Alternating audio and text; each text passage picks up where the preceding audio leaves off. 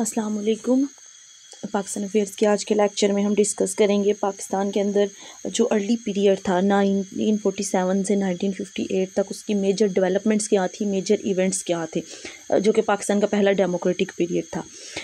August fourteen, nineteen forty seven को पाकिस्तान बनता है। इंडिपेंडेंस जो है वो मिलती है और उसी के साथ चूँकि हम पहले डिस्कस कर चुके हैं कि पाकिस्तान का अर्ली पीरियड बहुत सी प्रॉब्लम्स को लेके आया था, फिर हमने ये देखा कि पाकिस्तान की जो अर्ली लीडरशिप थी उसने कैसे उसको एड्रेस किया। सो नाइनटीन फोर्टी सेवन को पाकिस्तान को इंडिपेंडेंस मिलती है। सितंबर थर्टी नाइनटीन सेवन को पाकिस्तान यूनाइटेड नेशंस को ज्वाइन करता है। कायद अजम मोहम्मद अली जना की लीडरशिप में पाकिस्तान ने बहुत तेज़ी से अपने मसाइल पे हल करना शुरू कर दिया। उसमें से एक जो मेजर डेवलपमेंट थी वो ये थी कि अपनी क्रिएशन के सिर्फ़ कुछ दिन बाद ही इट्स आलमोस्ट फोर्टी फाइव दिन के बाद पाकिस्तान जो है वो सितंबर थर्टी को नाइनटीन फोर्टी सेवन को यूनाइटेड नेशंस को ज्वाइन करता है। अक्टूबर 1947 में इंडिया जब कश्मीर पे इंडिया के कश्मीर पे कब्ज़े के बाद अक्टूबर 1947 से जनवरी 1949 को फ़र्स्ट इंडो पाकिस्तानी वॉर जो है वो लड़ी जाती है।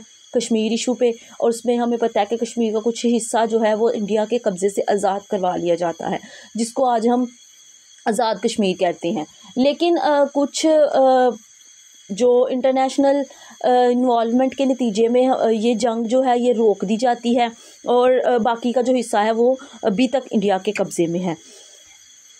और September eleven nineteen forty seven को कायद अजम मोहम्मद अली जना के जो कि फाउंडर ऑफ़ पाकिस्तान थे और पाकिस्तान के जो मदर लीडर थे वो फादर लीडर थे सॉरी वो उनकी डेथ हो जाती है और इसके साथ ही, उनकी डेथ के साथ ही पाकिस्तान के अंदर जो है वो बहुत से प्रॉब्लम्स जो हैं वो सर उठाना शुरू कर देते हैं। उसमें पॉलिटिकल इंस्टेबिलिटी है, उसमें और कुछ प्रॉब्लम्स हैं। क्योंकि एक नौजायदा ममलिकत जो, जिसका जो बानी है, वो उसके बनने के कुछ देर बाद जो है उसकी डेथ हो जाए तो ये एक एक तो एक तरफ़ लोगों के लिए पीपल ऑफ़ पाकिस्तान जो थे, उनके लिए सदमा एक बहुत बड़ा था। दूसरा जो है वो बहुत से इंटरनल एक्सटर्नल प्रॉब्लम्स का पाकिस्तान को सामना करना पड़ा। एक इसमें से जो पाकिस्तान के मेजर प्रॉब्लम्स थे अर्ली प्रॉब्लम्स उसमें हम हमेशा से डिस्कस करते हैं कि एक प्रॉब्लम ये था कि पाकिस्तान के अंदर कॉन्स्टिट्यूशन नहीं था। क्योंकि पाकिस्तान को जो है वो एक नई ममलिकत थी तो दूसरे सारे प्रॉब्लम्स हल करने में कॉन्स्टिट्यूशन बनाने का किसी को ख्याल नहीं आया। तो क्या किया गया अर्ली डेज़ में? कि ब्रिटिश ब्रिटिश कॉन्स्टिट्यूशन के अंदर कुछ चेंजेस करके वही इम्प्लीमेंट किया गया। लेकिन इस मसले के हल के लिए मार्च ट्वेल्व, नाइनटीन नाइन को लेजिस्लेशन लेजिस्लेचर ने एक ऑब्जेक्टिव रेजोल्यूशन के नाम से एक रेजोल्यूशन पास की। ये रेजोल्यूशन पाकिस्तान का आयन तो ऑब्वियसली नहीं था, लेकिन इट वाज द बेसिस के पाकिस्तान के अंदर कॉन्स्टिट्यूशन कैसा होगा? और हम जानते हैं कि ऑब्जेक्टिव रेजोल्यूशन में जो सॉवरेनिटी है वो अल्लाह ताला को दी गई इसमें यह कहा गया कि मुल्क जो है वो एक इस्लामिक जमहूरिया रियासत होगा। इस तरह से इसके कुछ की प्रिंसिपल्स हैं। बेसिकली ये ऑब्जेक्टिव रेजोल्यूशन जो है, ये इस चीज़ की तस्दीक थी कि Pakistan will be an ideological Islamic state Pakistan को जो है वो एक आइडियोलॉजिकली जो है वो एक इस्लामिक स्टेट जो है वो बनाया जाएगा। इस पीरियड में जो है ये पॉलिटिकल इंस्टेबिलिटी बहुत हाई रही। पाकिस्तान के अंदर नाइनटीन फोर्टी नाइन से नाइनटीन फिफ्टी वन को लियाकत अली ख़ान पाकिस्तान के प्राइम मिनिस्टर रहे चूँकि चूँकि वो नाइनटीन फोर्टी सेवन से नाइनटीन फोर्टी नाइन तक भी रहे थे and he was the first prime minister of Pakistan और फिफ्टी वन तक वो प्राइम मिनिस्टर रहे October nineteen fifty one sixteen October nineteen fifty one को लियाकत अली ख़ान को एक पब्लिक जलसे में जो है वो कत्ल कर दिया गया, और उसके बाद ख्वाजा निज़ामुद्दीन, नाजमुद्दीन जो थे, वो पाकिस्तान के प्राइम मिनिस्टर बने। नाइनटीन फिफ्टी वन से नाइनटीन फिफ्टी सिक्स तक जो टाइम पीरियड है, इसमें हमें कोई मेजर चेंज नज़र नहीं आता। वही पोलिटिकल इंस्टेबिलिटी जो है, वो कायम रहती है। ख्वाजा नाजमुद्दीन और मोहम्मद अली बोगरा, इसमें दो लोग जो थे इस पीरियड में, वो as a prime minister serve करते हैं। फिर इसी दौर में जो है, मई 1953 में हम ये देखते हैं कि एंटी अहमदिया रायोट पंजाब में शुरू होती है। अहमदिया कम्युनिटी हम जानते हैं अहमदिया कम्युनिटी के बारे में। अहमदिया कम्युनिटी के ख़िलाफ़ जो है एक बड़ी स्ट्रॉन्ग किस्म की रायोट जो है वो पंजाब में शुरू होती है। और वो एक सोशली और एक पोलिटिकली जो है वो अनरेस्ट पैदा करती है पूरे मुल्क में।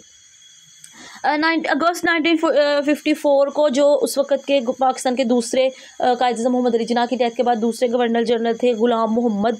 वो जो है बीमारी की वजह से रिज़ाइन कर देते हैं और इसकंदर मिर्ज़ा पाकिस्तान के दूसरे गवर्नर जनरल बनते हैं और बाद में वही पाकिस्तान के प्रेसिडेंट भी बनते हैं। क्योंकि गवर्नर जनरल का अहदा जो है वो ख़त्म कर दिया जाता है और प्रेसिडेंट का अहदा बाकी रहता है। नाइनटीन फिफ्टी फोर से नाइनटीन फिफ्टी सिक्स तक जो है वेस्ट पंजाब को, चूँकि पाकिस्तान के उस वक़्त दो हिस्से थे, ईस्ट पंजाब और वेस्ट पंजाब और दोनों में जो है वो जियोग्राफिकली बहुत ज़्यादा फासला था। तो एडमिनिस्ट्रेशन के प्रॉब्लम्स बहुत ज़्यादा थी। इन एडमिनिस्ट्रेशन के प्रॉब्लम्स को सॉल्व करने के लिए जो है वन यूनिट एक्ट बनाया गया। वेस्ट पाकिस्तान को वन यूनिट बना दिया गया। यानी कि सिंगल प्रोविंस वेस्ट पाकिस्तान और ईस्ट पाकिस्तान दो प्रोविंसेस होंगे। ये जो पॉलिसी है, ये 1954 से 1956 तक रहती है। उसके बाद जो है पाकिस्तान का फ़र्स्ट कॉन्स्टिट्यूशन दिया जा, बनाया जाता है 1956 में पेश किया जाता है और इम्प्लीमेंट किया जाता है और इसमें जो है, पाकिस्तान को ये वन एक्ट यूनिट जो है, इसको ख़त्म कर दिया जाता है। लेकिन अक्टूबर 1958 को जो प्रेसिडेंट मिर्ज़ा हैं, सिकंदर मिर्ज़ा, वो मार्शला लगा देते हैं और गवर्नमेंट को डिज़ोल्व कर दिया जाता है। और अयूब ख़ान को जो है वो चीफ़ मार्शल एडमिनिस्ट्रेटर लगा दिया जाता है। इस तरह पाकिस्तान के अंदर, पाकिस्तान का जो पहला डेमोक्रेटिक एरा है वो ख़त्म होता है। इस एरा में हम देखते हैं कि जो मेजर पाकिस्तान की जो डेवलपमेंट्स हैं, वो पाकिस्तान के जो अर्ली प्रॉब्लम्स हैं, उसी को सॉल्व करने के हवाले से थी, क्योंकि हम पहले डिस्कस कर चुके हैं कि पाकिस्तान की अर्ली प्रॉब्लम्स क्या थी। तो ये एरा जो है, ये पॉलिटिकल अनरेस्ट का रहा। 1958 में पाकिस्तान का फ़र्स्ट डेमोक्रेटिक एरा जो है, वो ख़त्म हो जाता है।